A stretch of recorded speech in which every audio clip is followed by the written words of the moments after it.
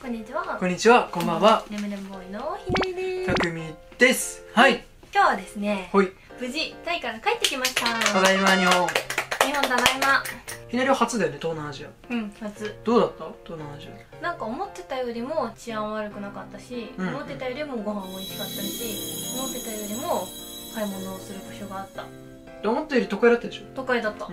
東南アジア、ちょっと巡ってみたいなと思わされた旅でした。うん楽しかったね。楽しかったです総じて楽しかった。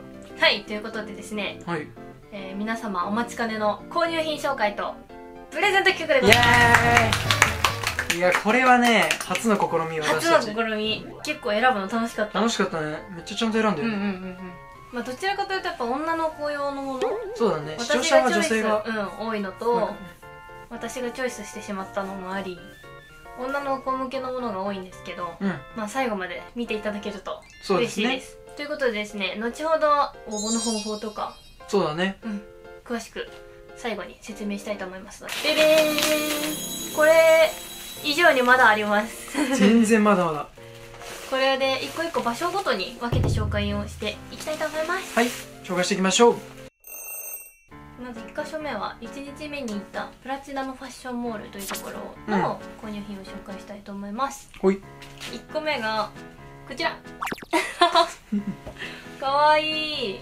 これなんか靴屋さんだったんだけどモケモケのスリッパみたいな。ちょっと見てわかるかな。なんかなんだろうお部屋のね室内履きカーペットみたいなカーペットみたいなね生地だよね。うん。そうモケモケしてるスリッパみたいな形のやつとうん。カバーされてる、あとそこのサンダル型があって可愛いと思って買っちゃった。1個50バーツぐらいだったと思います。多分動画前の動画にね多分映ってるとは思うから。室内履きか何に使うかまだ。マジ何に使うんだろうと考えてないんですけどバーガンディの色合いがすごい好きだったので、これを買いました。はいということで次なんですけど僕がプラチナムで1着だけ購入したんですよ。1着だけ。それがこちら。えーシャツですねで今回の旅行では僕ほぼシャツしか買ってないんですよ。ホモホモシャツだね。ちょっと柄が近くで見せるとこんな。ここはなんかなんか日本っぽいそうだね。シャツが多くてこれもだから波が入ってたり虎の柄とかだったり結構和なんですよ。和なんだけど形はアラファっぽいというか外国っぽい感じがすごい私的には。うんかわい。いでかわい。い200バーツくらいだったらね日本円で700円くらいなのですごい価格も安いし。うん。ちょっと派手なんだけどまあ下を押さえればうん。いいかなっていう感じ。でそうだね。ガラガラになんなければね全然着れるかなと思って、めちゃめちゃ可愛いです。かわいい。ってことで次。はい。ちょっと韓国っぽいお店だったんですけど春夏っぽいかなものとしては、うん。けど可愛かったから。一律150バーツ。全部150バーツ。で結構種類も豊富。でトップスもボトムスも多くてあとカラーごとにこうなんか置いてあるお店。よく韓国であるんだけどそうそうそう。カラーごとに置いてあってすごいおしゃれで可愛かったのでそこで1個目。カラーパンツを購入しました。なんかねピンクなんだけどサーモンピンクでもなく。いやサーモンピンクじゃないね。なんだろうね。サーモンピンクより濃いんだけどあのオレンジもちょっと混じってるような、オレンジだね。うん、ですごいテロテロなの。すっごいテロテロなんだけど後ろがゴムになっててこのねボタンのとこが偽物なの。作りは雑なんだけどすっごいウエストにフィットして私結構ウエストガブガブガで腰で履くっていうパターンが多いんだけどこれめちゃめちゃフィットして伸びもいいし苦しくもなかったのでめちゃめちゃ気に入ってます。本当に GoTo モールの中に入ってるお店みたいな感じだったすごい値段も安いしね。うん。意外とちゃんとしてるし。うん。てかねすごい。私的には韓国よりは若干品質が落ちるの。薄さだったりとか生地の感じとか若干品質は下がるんだけど、うんうん。えっと、値段もその分半分ぐらいなの。結果使えるのってやっぱ洗ったりとかするとそうだね。そうそうすぐ毛玉ができたりとか破れやすかったりとかで結局1年つくに1年2年使うかなくらいなのでうん。なんかそれを考えたらタイのその品質が落ちたとしても値段が半額なのはなんかなんだろう流行り物を買ったりとか色とかもその時だけ着たいみたいな感じで使えるのがいいかなって流思いました。行り物は確かにね。うんいいとめっ思うちゃいいね。そこでね買った2着目がこのミントグリーンのトップスになります。これねめっちゃ可愛いの。なんだろう。私的にはフーズフーズチコみたいな。キャッチ版みたいな感じ。でこれなんかビスチェみたいな感じになってるんだけどここのねこの部分がね絞れるようになっててうん。リボンでこうやって結んで切れます。意外とこの生地が可愛くて色も好きなんだけど生地がレースっぽい綿っぽい感じなんだけど刺繍がじゃちゃんと入ってて凝ってるんですよ。ちょっと夏は過ぎちゃったのでもう着れないかもしれないんですけど来年もミントグリーンは流行ると私は見込んでるのでこれを来年から着たいなと思ってます。すっごいお気に入り。しかもここのお店はがいいのは同じ種類のカラー展開がすごいちゃんとしててこれも水色とぶ紫と白とってすごいいっぱい種類があったからね。女友達とかと行ってなんかノリでお揃いにしようよってできる感覚がすごくいいなって思いました、なんかタイで着るだけでも楽しいと思う。確かに。あのタイパンツ感覚ね。うん。すごいいいなって。値段もデザインも可愛かったですはいということでですねほい。プラチナムファッションモールで私がねあのどうしても手に入れたかった商品をうん。購入したのでそれがこちらです。タイパント。ゥタイパンツこんにちはタイパンチの皆さん。ジュゼよ主せよませよ ということでタイパンツを購入しました。でなんか普タイパンツってこうやって着るやつ？違う違う。違う？パンツって言ってんじゃん。ここまで上げて着るパンツって言ってんじゃん。Two hours later. タイパンツって結構いろんな形があって私も行ってみて知ったんだけどこう普通のウエストと裾がキュッてなってるやつと、うん。フレアになってるものとうん。ガウチョパンツみたいにこう大きくねなってるものとあと幕式のやつとスリットが入ってるやつとすごい紹介してるいっぱいね。すごいいっぱいあるよねすっごいいっぱい種類があってで私がね欲しかったのがこう前にね写真見せた方が分かりやすいと思う、うん、前にスリットが入ってるやつなんですよ。でインスタでも投稿したんですけどまあ形が可愛いのよ。うん、かわいい。可愛いよね。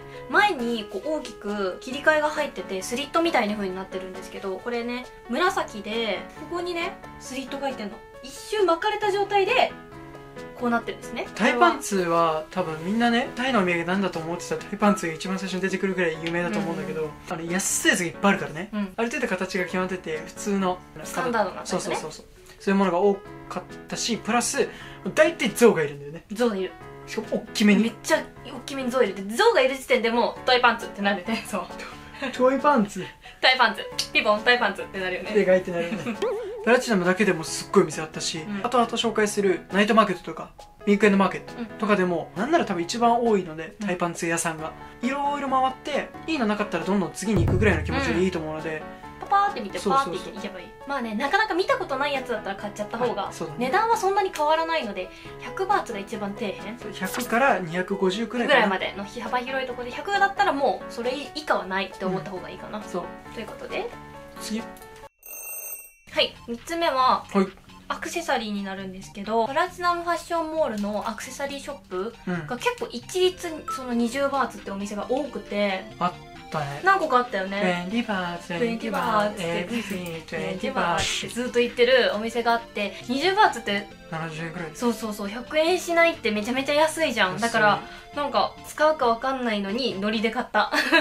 とりあえずね。とりあえず買った。で紹介していきますえっと1個目がこちらのお花のシルバーのピアスですね。真ん中がパールついてて周りにこうお花がねなってるんですけどこれシンプルにつけやすそうだなと思いまして購入しました。で2つ目がこれ蝶々なんですよ。で蝶々のアクセサリーがずっと欲しくて探していたので若干ねこれね2連の蝶々がついてるの。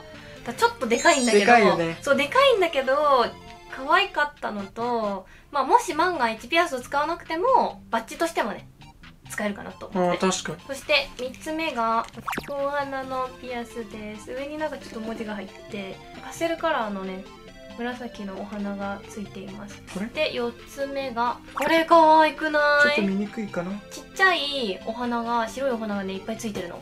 わーって集合してんの。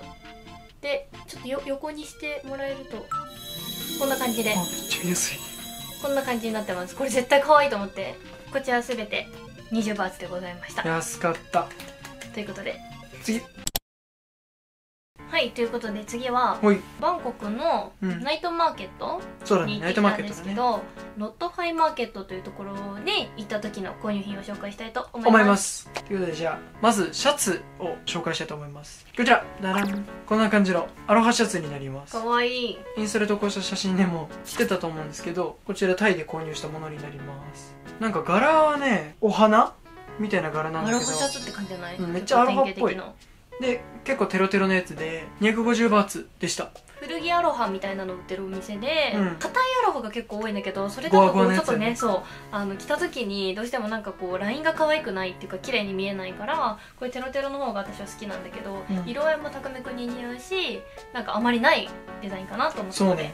個人的にもあんま緑着ないから新鮮ですごい良かったしうん、いきなり似合うっておすすめされたから買おうってなった。バンコクとかプーケットうん。のマーケットはよくアロハシャツ安みたいなのが多いのよ。多いね。でさっき言った左のプラチナムのところには韓国っぽいお店が多くて、うんうんなんかいいとこ取りしてんなって感じがすごいして。確かに。そう男の子も楽しめるアロハシャツとかも売ってるし女の子が好きそうな韓国っぽい服も売ってるからぜひチェックしてみてください、ということでじゃあ次。私は意外とそこではあんまり買わずでしてね。買ったのがこちらになります。ネイルです。かわいい。紫のラメラメとピンクのラメラメと赤のボルドーのラメラメを買いました。うん。すっごいいっぱい種類あって何種類ぐらいあったあれ。多分100ぐらいはあるよね。100ぐらいあってその塗った見本みたいなボードがね、うんうん。置いてあったんだけどこれも映像があるか動画撮ってるはず。れは5つで100バーツ100バーツ。だったのでまあ決してすっごく安いわけじゃないんだけどフットネイル用に購入しました。うん。はいということでロットファイマーケット。ロットファイマーケット最後の購入品になるんですけどこれうん購入品というか、似顔絵をね描いてもらえる。似顔絵屋さんみたいなのがいたんだよね。その人はクレヨンであのモノクロで描いてくれる人だったんですけどもラミネート加工してもらえたので無事にあの折り曲げずに綺麗に持って帰ることができました。いきますよ。でれれれれれれれれカテリがこちらダンうおー似てるよねこれすごい感動したんだけどこんな感じでございます似てるよねこれ。似てる。ちゃんと名前も聞いて書いていくれた。なりとたくみって書いてくれてますこれめちゃめちゃお気に入り、うん普通に可愛い。感動してます。1人100バーツかな？そう1人につき100バーツ。で2人だったら200バーツ。プラスラメネート20バーツで220バーツ。日本円で言うと700円くらい。安い。でしかもめちゃめちゃすごいのがこれ約23分？1人に対して2分ぐらいかな？うん。だ計5分くらいで終了してるんですよ。マジで秒だった。マジ早かったねこれめちゃめちゃいい思い出。やばい似てる。すごい似てる。ね。面白いよね。すごい。うん。見れば見るほど似てんだよ似てんだよね。すごい似てる。もね左のことも。左の方が似てる左の方が似てる。やばいよね。いやいい思い出になると思うので、うん。ぜひ行ってみてください。はい。はい。ということで次はほい。ティャルヤリアンいや全然見えん。いくよ。ティャルヤリアンなんて読むんですか？これは。スリープって書いてあるんですよ。ありゃ眠々やんと思って。ーで水色のボックスの中にスリープって白の書いてあってえこれそうやんってなって買いました。映像よりもうちょっと水色かな？うん。なんですけどなんかね着やすそうだったのと可愛かったのとサイズ感もちゃんと SML ってあったよね。あった。だから一緒にお揃いで着れるねと思いましてなんとダレーンダレーン中見くんの分も購入しました。マジ無地 T に私が S サイズで僕 M サイズです。M サイズ。うん、すごいなんかワンポイントだからね。そう何でも合わせやすいし。まあお揃いにしやすいかなと思ってお揃いにしちゃいました。一つ250バーツでした。ちょっと高めですね。やっぱうん。800円900円ぐらい T シャツでいうってことで。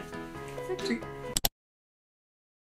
ということでお待ちかねの皆さんへのプレゼントの紹介をしたいと思います。す。まずですねほいほい。1個目はこちら。ピンクのトラさんの靴下です。これね色がすっごい可愛いので男の子でも女の子でも描けると思うんですけどなんかピンクがそこまで可愛すぎないので、あのちょっとねパンツの裾から見えるとかだったら全然許されるんじゃないかなって思うのと、プラスなんかめっちゃおしゃれに見えそう。あの靴下ってこうやって見ると結構派手だなと思うんですけど実際ここ靴履いちゃうし。見えるのここだけなんだよね本当に。靴とズボンの裾の部分で隠れるんだけどこの辺しか見えないのでこの辺だけピンクってすごいおしゃれだなと思います。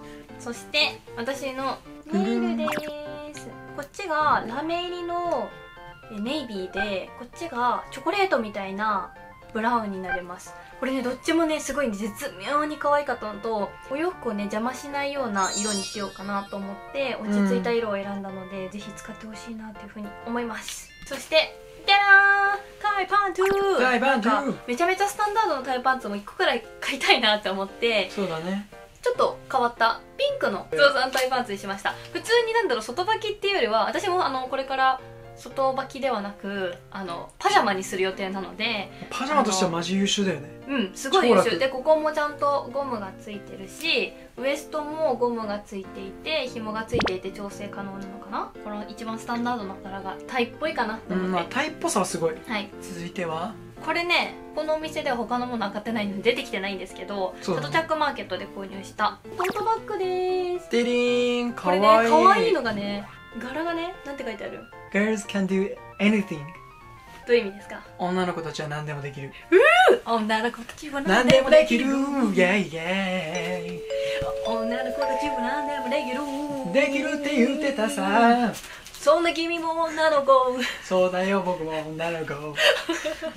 ていう感じでね。なるほど。はい。そして次のプレゼントがデレーン先ほど私が紹介したお花柄のこの白バージョンがあったんですけどそれのパープルになります。これピアスなので。まあピアスなんでそれだけ。そこだけちょっとお気をつけください。お揃いでしたが私と色違いのお揃いです、いいね。最後にででーん。こちらスリープ T シャツをこおちらをイエ揃いで買いましたのでプレゼントしたいと思います。こちら S サイズなので。男の子だと細身だったら大丈夫だけど僕くらいのほ細さだった。ら最悪ねあのもうお部屋に飾るスタイルっていうパターンもありなんで。あのもしよかったら来てくださったら嬉しいです。はい。初めてのプレゼント企画でね。ちょ調子乗っていっぱい買っちゃっいったぱい買っちゃったね はいということで合計この6点をですねランダムでプレゼントしたいと思います。思います。ということで今までねあの動画を見てくださっている方はもうわ分かってると思うんですけど、うん。いない方はね後で全部チェックしていただきたいんですけどもキーワードをですね入れてるんですよ。そうですね。ということで概要欄に貼っておく応募フォームから応募してください。うん。ということではい。たくさんのご応募お待ちしております。そしてこれにてタイ動画は以上となります。たくさんご視聴いただきありがとうございました。ありがとうございましたまたね今度海外行ったらちゃんとまた Vlog 撮ってきていろいろ素敵な映像をまたお届けできたらなと思いますので、この動画の高評価とチャンネル登録よろしくお願いいたします。ます。ということでプレゼントの企画は概要欄からまた次の動画で会いましょう。バイバーイ。応募してねたくさん。してね